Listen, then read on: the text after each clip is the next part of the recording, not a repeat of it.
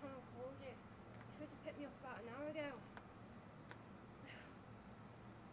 I don't care anymore, I just forget about it.